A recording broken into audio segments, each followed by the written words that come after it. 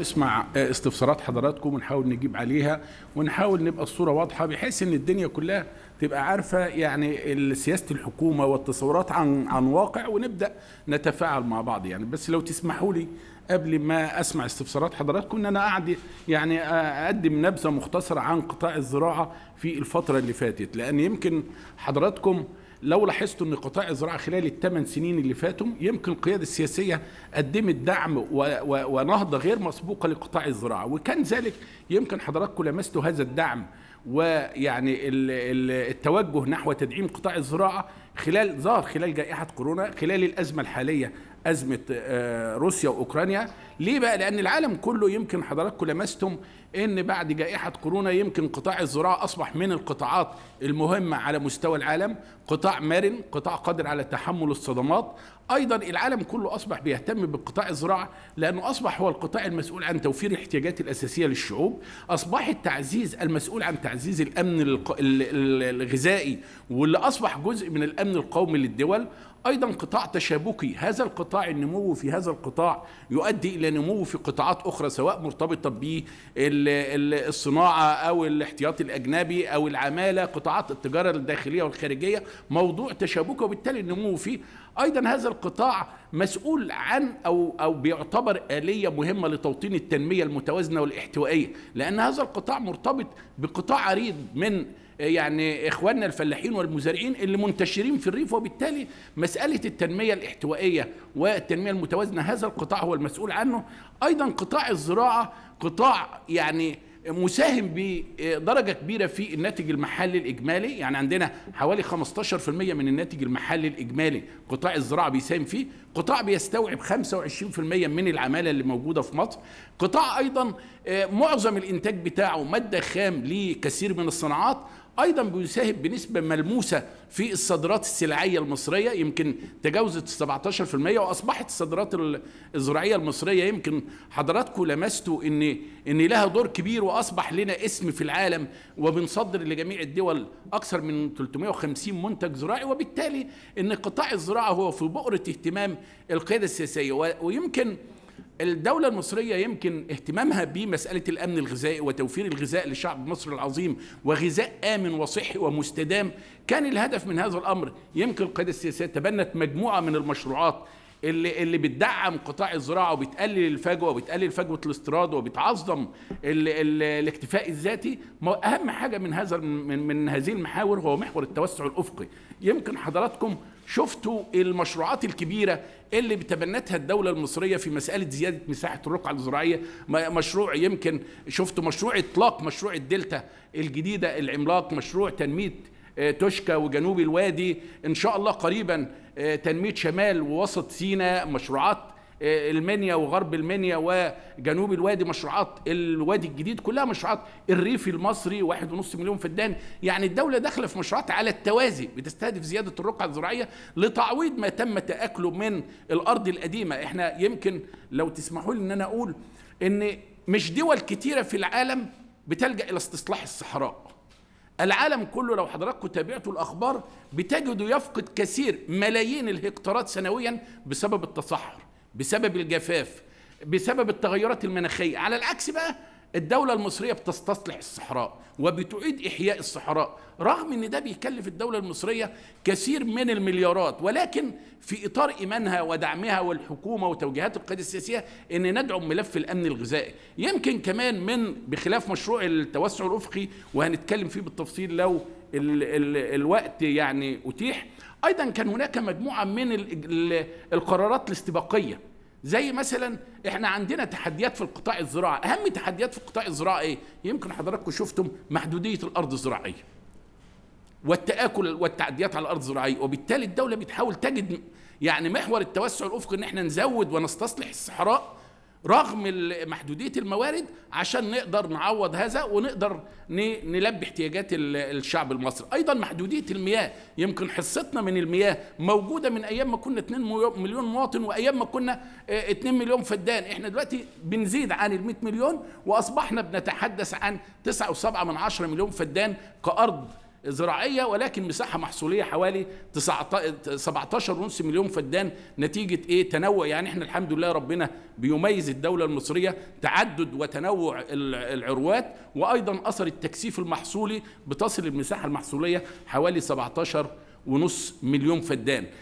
كانت الدولة المصرية واخدة عشان تعالج هذا الأمر إن إحنا نجد مصادر بديلة لتعويض برضو احتياجاتنا للمياه بعيدا عن موضوع سد النهضة ولكن إحنا مع زيادة الأرض الزراعية ومع زيادة الاحتياجات ومع التغيرات المناخية أصبح لدينا احتياج وبالتالي كانت الدولة المصرية سباقة في آه، آه، مسألة معالجة مياه الصرف الزراعي. يمكن إحنا أنشأنا محطتين محطة المحسمة اللي خدت أفضل مشروع في العالم في 2019 وأيضا محطة معالجة مياه مصرف بحر البقر اللي خدت أكبر مشروع في العالم ودي كانت بتعمل 5.6 من 10 مليون متر مكعب يومي. وإن شاء الله قريبا سوف يتم افتتاح محطة الحمام اللي هي تغذي آه، مشروع الدلتا الجديدة وبالتالي نجد في هذا الأمر إن الدولة بتاخد إجراءات استباقية لتعدد مصادر والتغلب على التحديات اللي بتواجه الزراعه لو ترجع لي السلايت اللي قبل ده كده المؤسسات الدولية يمكن نتيجة الجهود اللي تمت في قطاع الزراعة سواء التوسع الأفقي أو التوسع الرأسي وتحسين السلالات واتخاذ إجراءات وضخ استثمارات في القطاع الزراعي اللي أدى إلى إن إحنا والشراكة مع القطاع الخاص. يمكن حضراتكم تابعتوا لقاء فخامة السيد الرئيس في مشروع افتتاح مستقبل مصر في اللي هو باكورة الدلتا الجديدة. شراكة جيدة ونموذج جيد للشراكة بين الدولة المصرية والقطاع الخاص وده توجه الحكومة ويمكن دولة الرئيس اعلن في الفترة الماضية وثيقة ملكية الدولة المصرية وإن إحنا نحاول نتوسع في دور القطاع الخاص في الاستثمار في المشروعات وإحنا يمكن في قطاع الزراعة عندنا مجالات كتيرة للتوسع في الاستثمار الزراعي والشراكة القطاع الخاص سواء في مسألة الأراضي الزراعية والمشروعات القومية اللي موجودة عندنا أو في مشروعات الإنتاج الحيواني وما يرتبط بها أو المشروعات الثروة الداجنة أو مشروعات الثروة السمكية. يمكن إحنا كمان عندنا مشروعات كتيرة وأراضي كتيرة أطلقناها على المواقع للاستثمار الداجني. يمكن حضراتكم تشوفوا على الشاشة رأي المؤسسات الدولية في قطاع الزراعة. يمكن كثير من المؤسسات العالمية وبتقول الصندوق النقد الدولي الدولة استثمرت في القطاع الزراعي. البنك الدولي بيقول يعتبر قطاع الزراعي قطاع حيوي. قطاع الزراعة من أكبر قطاع آه، لفرص العمل. وضعت الدولة المصرية موضوع الأمن الغذائي ضمن أولوياتها. ده رأي المؤسسات الدولية في النهضة اللي شملت قطاع الزراعة في الفترة الماضية. كل هذه الإجراءات والتوسع في المشروعات وتبني مشروعات قومية وبرضه كان من ضمن الحاجات اللي داعمة لقطاع الزراعة المشروعات القومية سواء المشروع الشبكة القومية للطرق مشروعات الطاقة. كل دي متواصلة بعضها. كيف لك أن تتمكن في قطاع الزراعة؟ أن أنت تستصلح أرض وتنتج وتصدر وتصنيع واهتمامنا أيضا بالتوسع في التصنيع الزراعي في المرحلة القادمة. إن شاء الله كل الحاجات دي بتحتاج بنية تحتية كبيرة سواء مصادر المية المصادر البديلة سواء إن أنت يبقى عندك طرق سواء إن أنت يبقى عندك طاقة سواء إن يبقى عندك كل الحاجات دي عشان تقدر تعظم. المشروعات التوسع الافقي برضو الهدف منها إن أنت بتخلق يعني مسار جديد لإن أنت تخفف التجدس في المحافظات الدولة المصرية من ضمن ميزاها في المشروعات برضه إنها بتلجأ إلى التنمية الاحتوائية. لو حضراتكم شفتم يعني مواقع المشروعات اللي الدولة بتختارها سواء في سينا سواء في الوادي الجديد سواء في توشكا سواء في شرق العوينات نلاقيها منتشرة في كل محافظات الجمهورية. وبالتالي هذا الإجراء بيأكد أن الدولة بتعمل تنمية احتوائية. تنمية احتوائية يعني إيه؟ يعني بتشمل كل المناطق الجغرافية بتشمل كل فئات المجتمع وكل فئات السكان. وده النهج اللي خدته الدولة المصرية في هذا الأمر. وبالتالي مشروعات التوسع الأفقي مشروعات تحسين التوسع الرأسي يمكن حضراتكم لمستم مدى تحسن الأصناف والسلالات اللي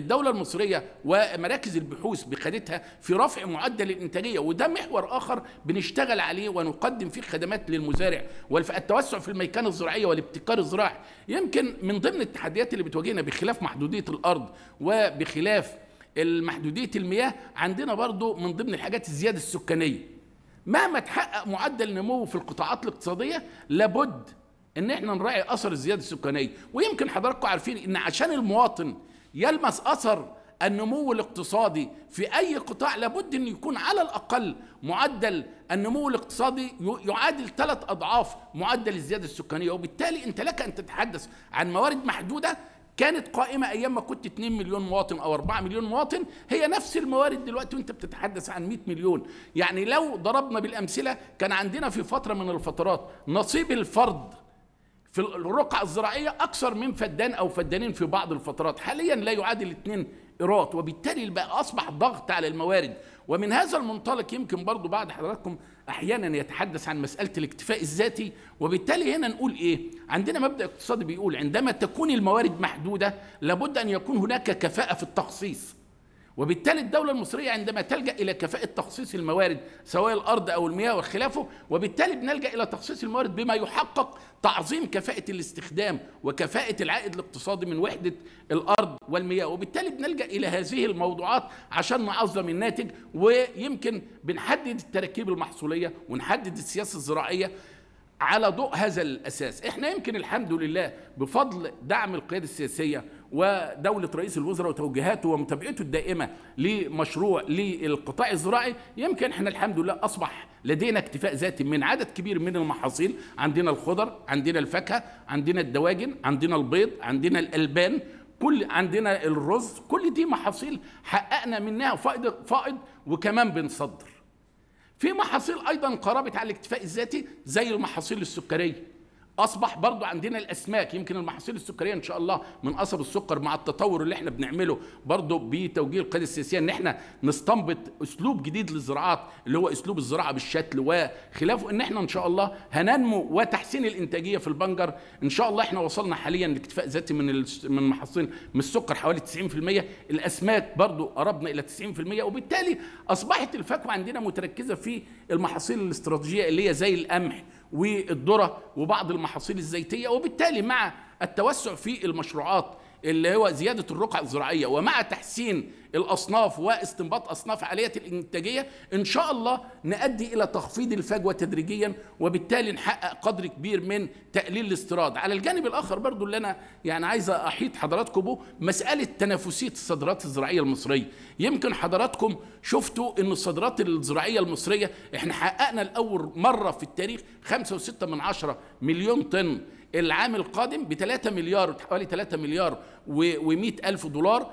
ده صادرات زراعية طازجة بخلاف رقم يعادل هذا الرقم من خلال منتجات زراعية تصنيعية. وإحنا بنستهدف إحنا عندنا بنصدر أكثر من 350 منتج زراعي. عندنا أكثر من 150 سوق. إحنا احتلينا رقم متميز في بعض السلع بعض المنتجات بتاعتنا. زي ما شفنا الموالح. إحنا احتلينا المستوى الأول على مستوى العالم للسنة الثالثه على التوالي. تفوقنا على أسبانيا اللي كانت متربعه على عرش هذا المركز لفترة طويلة من الزمن. إحنا رقم واحد في مجال الفراولة المجمدة. لنا أرقام متميزة في تصدير البطاط في في البطاطس في البط في البصل في الثوم عندنا المنتجات الزراعية المصرية ما عندناش دولة عليها قيود مع الدولة المصرية على أي منتج زراعي بالنسبة لنا. الحمد لله برضو مع وجود أزمة جائحة كورونا يمكن حضراتكم شفتوا المنتجات الزراعية موجودة في كل الأماكن. قدرة الدولة المصرية على توفير المنتج الغذائي وفي هذا المجال بنشكر إخواننا المزارعين والمنتجين الزراعيين على الجهد اللي بذلوه خلال الفترة اللي فاتت. قدرنا نقدر نحافظ على توفير الغذاء الآمن والصحي وتدعيم الدولة لمسألة واتجاه الصحة النباتية والصحة الحيوانية وسلامة الغذاء. يمكن حضراتكم سمعتوا الأسبوع اللي فات رغم ما نمر به في ظروف في مسألة القمح واحتياج الدولة المصرية الدولة المصرية رفضت شحنة كانت واردة من الهند. ليه؟ لأن إحنا يهمنا على الأصل الأول صحة المواطن المصري. لابد إن إحنا بنتبع كل الإجراءات. فمسألة الصادرات المصرية وإن إحنا بننوع الشركاء التجاريين عشان يبقى عندنا أكثر من سوق نقدر نستورد أو نصدر. يمكن لو رجعنا لرقم الصادرات رغم ظروف جائحة كورونا إحنا أرقامنا زادت لرقم غير مسبوق السنة اللي فاتت.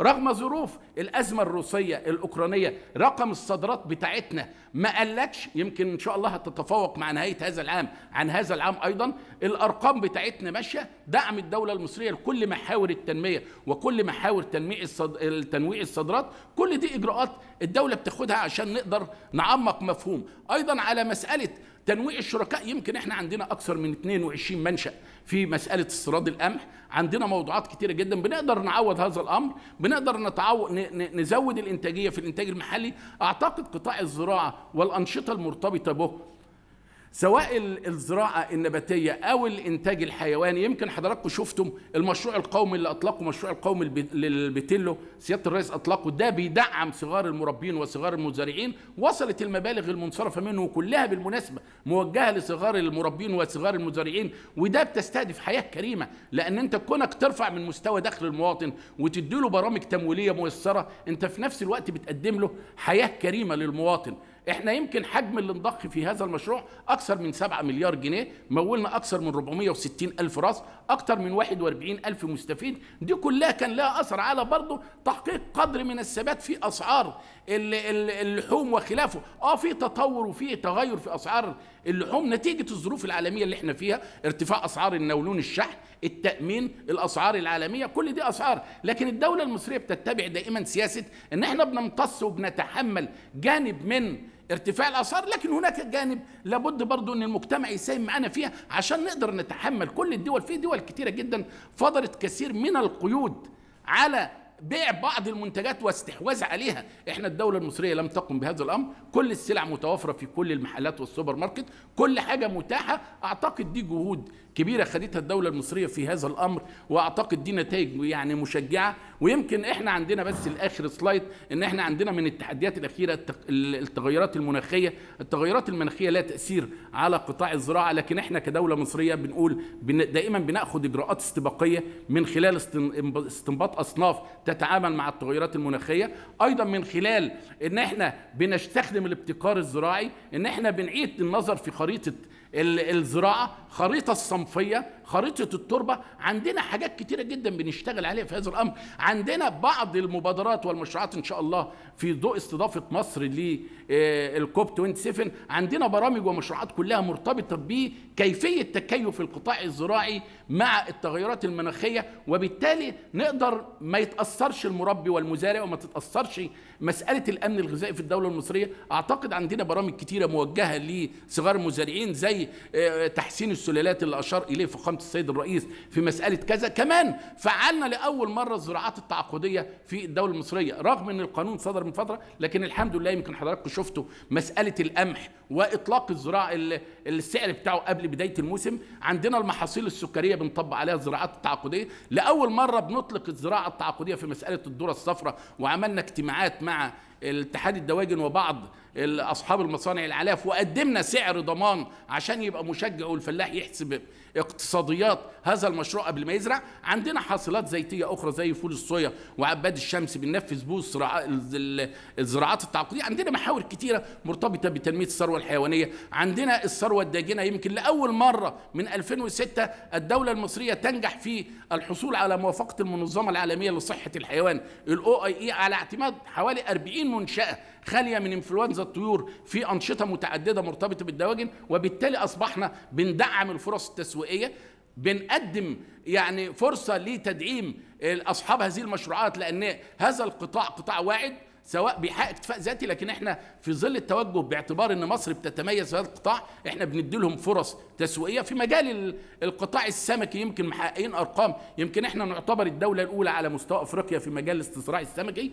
يمكن بنعتبر الدولة رقم ثلاثة على مستوى العالم في إنتاج البلطي. يمكن نعتبر السادس على مستوى العالم في الاستصراع السمكي. الدولة المصرية واخدة مسألة الأمن الغذائي ده مسألة يعني مهمة جدا. آه، بنستخدم التحول الرقمي. عندنا مشروعات حياة كريمة تطوير آه، مراكز تجميع الألبان المشروع تحسين السلالات القافل البيطرية والتأمين على الماشية وضمان استدامة المشروعات لإخواننا المربين والمزارعين. زيادة الحقول الإرشادية وتدعيم الإرشاد الزراعي سواء الحقلي أو الرقمي وإدخال المفلحين والمنتجين الزراعيين ضمن المبادرات الميسرة من خلال الجهاز المصرفي أعتقد دي كلها موضوعات آه، يعني بتؤكد أن الدولة المصرية والقيادة السياسية قطاع الزراعة أصبح من القطاعات اللي حصل على دعم غير مسبوق خلال الثمان سنين ويمكن حضراتكم شايفين المشروعات كل ما بيعديش شهر إلا ما يبقى فيه افتتاح أو إطلاق. لمبادرة مرتبطة بالقطاع الزراعي. فأنا يعني مش عايز أطول حضراتكم ويعني آخد ال ال الوقت كله لكن بشكر حضراتكم مرة أخرى وبرضه هسمع الاستفسارات حضراتكم يعني.